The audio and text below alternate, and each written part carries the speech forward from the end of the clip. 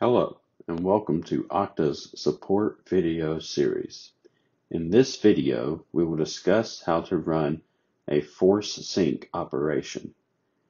If there have been recent changes made to user accounts or permissions that need to be reflected in both Okta and the connected application, then you may need to run this force sync. First, you will need to log in to the Okta admin dashboard. Then navigate to the Applications tab on the left side menu. Search for and choose the application that is currently not up to date. Now select the Provisioning tab. From here, you can choose To App or to Okta based off of where the sync needs to occur.